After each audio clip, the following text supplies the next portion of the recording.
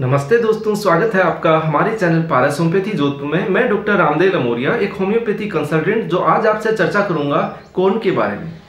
दोस्तों, कोन क्या है? इसके क्या सिम्टम्स होते हैं? ये किस कारण की वजह से बनता है? और होम्योपैथिक मेडिसिन से बिना सर्जरी के कोन को कैसे ठीक किया जा सकता है? इसी पे ये वीडियो फोकस रहेगा। दोस्तों, अगर आप हमारे चैनल को पहली बार देख रहे हैं या अभी तक आपने सब्सक्राइब नहीं किया है तो चैनल को सब्सक्राइब ज़रूर करें और इसके बेल बटन को ज़रूर दबाएँ, जिससे जो हमारे नए वीडियो आ रहे हैं, उनका नोटिफिकेशन आपको पहुँचता रहे। चलिए दोस्तों, चर्चा स्टार्ट करते हैं कोन के बारे में।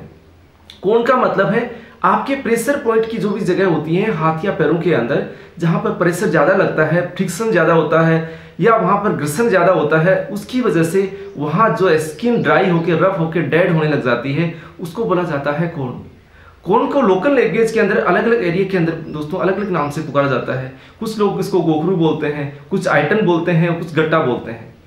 तो दोस्तों, ये आइटम या गट्टा आप जैसे ही दिक्कत स्टार्ट होती है, इसमें कई बार पेन होने लग जाता, दर्द होने लग जाता है। आपकी चलने फिरने में परेशानी होने लग जाती है, या हाथों से वर्क करने में प्रॉब्लम होती है तो अपन क्या करते हैं, इसको सर्जरी के लिए सर्जन के पास चले जाते हैं। वहाँ पर सर्जरी करवाई जाती है। लेकिन काफ़ी केसेज होते हैं, उनके अंदर ये कोण वापस डेवलप हो जाते हैं। तो इसमें ध्यान देने वाली बात है कि होम्योपैथिक मेडिसिन से बिना किसी सर्जरी के आसानी से इस चीज़ को ठीक किया जा सकता है और इसके दोबारा बनने से भी इसको रोका जा सकता है। तो दोस्तों, अब बात करते हैं कि ये कौन क्यों डेवलप होते हैं? यानी कि बॉडी की एक जो डिफेक्टिव मैकेनिज्म होती है, शरीर को बचाने के प्रेशर से एक्सेस प्रेशर का लगता है, उससे बचाने के तहत बॉडी एक रेस्पॉन्स क्रिएट करती है और उसकी वजह से ये चीज़ें डेवलप होना स्टार्ट हो जाती है। यानी कि उन चीज़ जगह पे जहाँ ज़्यादा डेवलप होती है, जहाँ पर प्रेशर ज़्यादा मात्रा में लगता हो, रगड़ ज़्यादा लगती हो, या आपके पसीना ज़्यादा आता हो, या बार बार आपको एक कोई इंस्ट्रूमेंट ऐसे पर्टिकुलरली पकड़ना पड़ता हो तो उन लोगों के आइटम उस पॉइंट पे ज़्यादा होने के चांसेस रहते हैं। अब बात करते हैं कि होम्योपैथिक मेडिसिन क्या करती है इसमें। दोस्तों होम्योपैथिक मेडिसिन बिना किसी चीरफाड़ के, बिना किसी ऑपरेशन के, बिना किसी कोन कैप के, बिना किसी एसिड लगाए हुए कुछ भी आपको लोकल एप्लीकेशन की ज़रूरत नहीं पड़ती। बिना किस के है इंटरनल होम्योपैथिक मेडिसिन लेने से आसानी से ठीक हो जाता है उस बार बार बनने से भी रुकता है। दोस्तों, बहुत आसान इलाज है होम्योपैथी के अंदर, लेकिन ज़रूरत होती है सिम्टम सिमिलरिटी की, एक अच्छे डॉक्टर से परामर्श करके ही आप कौन के लिए ट्रीटमेंट लें, तभी आपको इस चीज़ में सक्सेस मिलती है। इसमें कोई लंबा, बहुत लंबा ट्रीटमेंट नहीं चलता है, कुछ ही महीने या कुछ दिनों के ही ट्रीटमेंट से आपका कौन ठीक हो सकता है। इसमें सबसे बड़ी बात होती है कि आप देखते हैं कि इसको ऊपर से रफ सा नज़र आता है, इसको हटा देते हैं, नुकीली चीज़ से निकाल लेते हैं, कट करने की कोशिश करते हैं एसिड से जलाने की कोशिश करते हैं, लेकिन इसकी जो रूट होती है, वो थोड़ी डीप होती है। तो ये वापस धीरे धीरे अंदर से बाहर की तरफ़ आ जाता है। अब होम्योपैथिक मेडिसिन से दोस्तों क्या करते हैं कि जैसे ही हम ट्रीटमेंट स्टार्ट करते हैं, ये जो नीचे से जगह छोड़ना स्टार्ट करता है, धीरे धीरे जैसे स्किन की लेयर बाहर आती है, वैसे वैसे ये बाहर आता जाता है और एक टाइम ऐसा आता है कि बिल्कुल आसानी से अलग हो जाता है।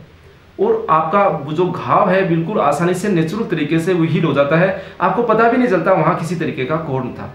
अब बात करते हैं कि क्या क्या मेडिसिन है होम्योपैथी के अंदर।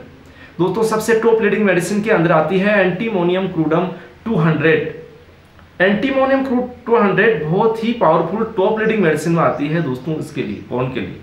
जिसके अंदर लार्ज होते हैं हॉर्न हॉर्नी टाइप यानी कि बिल्कुल ऐसे पतले पतले लंबे लंबे सींग होते हैं, उस टाइप के ऐसे कॉन्स निकलते हैं उन कॉन्स के अंदर, जो हल्के से दर्द करते हो, दबाने से, यानी चलने, फिरने से उन पर प्रेशर पड़ता है तो दर्द महसूस होता है। ऐसे केसेस में दी जाती है एंटीमोनियम क्लोडम 200 अब सेकेंड टॉप लीडिंग मेडिसिन में आती है दोस्तों रेनन कुलस बल्बोसस रेनन कुलस बल्बोसस और एंटीम क्लोड में मैं डिफरेंस भी आपको बताऊँगा। रेनन कुलस बल्बोसस के जो मरीज़ होते हैं, उनके अंदर भी हार्ड होते हैं होर्नी टाइप के वार्ड्स होते हैं। लेकिन ये जो वार्ड्स होते हैं, इतने ज़्यादा सेंसिटिव होते हैं कि हल्का सा टच करने से भी पेन होता है उनके अंदर। यानी कि इससे ज़्यादा हार्ड होते हैं आपके रेनल कुलस बल्बोसस के एंटीमोनियम क्लोडम से। यानी ये डिफरेंस होता है रेनल कुलस बल्बोसस इसकी थर्टी पावर की पाँच पाँच बूंद आधा कप पानी में दिन में तीन बार दी जा सकती है। दोस्तों थर्ड नंबर की जो मेडिसिन आती है acid nitricum acid nitricum 30 power की पाँच पाँच बूंद आधा कप पानी में दिन में तीन बार दे सकते हैं। ऐसे केसेस जहाँ पर बहुत ज़्यादा पेनफुल रहते हैं, जिनके बिल्कुल ऐसे घोंपने वाला सा दर्द, जैसे कुछ उसमें से तीखा निकाला जा रहा है, ऐसा अगर दर्द महसूस होता है, उन केसेज में वर्क करती है एसिड नाइट्रिकम दोस्तों, उसके बाद मेडिसिन आती है लाइकोपोडियम लाइकोपोडियम के जो केस होते हैं या जो वार्ड्स होते हैं, उनके अंदर जलन जैसा दर्द होता है। इसकी जो पिक्यूलर सिम्टम है कि जो जलन दर्द करते हैं, वो जलन जैसा वहाँ पर महसूस होता है। इसके साथ में पेनफुल भी होते हैं, दर्द भी रहते हैं। इसके अलावा जो भी लाइकोपोडियम के सिम्टम्स होते हैं, उसके अकॉर्डिंग आप इसको यूज़ कर सकते हैं। उसके बाद जो मेडिसिन आती है, वो दोस्तों साइलिसिया साइलिसिया के जो वार्ड्स होते हैं उसका 30 पावर यूज़ करते हैं पाँच पाँच बूंद आधा कप पानी में दिन में तीन बार। साइलिसिया के जो वार्ड्स जो सॉरी कॉर्न्स होते हैं, वो दोस्तों बिल्कुल ही सोप टाइप के कौन होते हैं, जो अपनी अंगुलियाँ होती है, उनके बीच में पैरों की जो अंगुलियाँ होती है, उनके बीच के अंदर, जो बीच वाले पार्ट के अंदर जो वार्ड्स होते हैं, उनमें बेहतर वर्क करती है। और ये भी पेनफुल हो सकते हैं या इनके अंदर कई बार पस बनने लग जाती है, मवाद बनने लग जाती है, वो दर्द करने लग जाते हैं, उन केसेज में बहुत ही अच्छा वर्क करती है साइलिसिया। दोस्तों, ये जो टॉप रेडिंग मेडिसिन है, इनको सिम्टम सिमिलरिटी के बेस पे दिया जाए तो कैसा भी आपका कौन आसानी से ठीक हो सकता है। दोस्तों, ये वीडियो अगर आपको अच्छा लगा हो तो इसको लाइक करें शेयर करें और चैनल को सब्सक्राइब करें। दोस्तों, बने रहिए हमारे साथ, जियो ज़िंदगी करें होम्योपैथी का संग धन्यवाद, दोस्तों।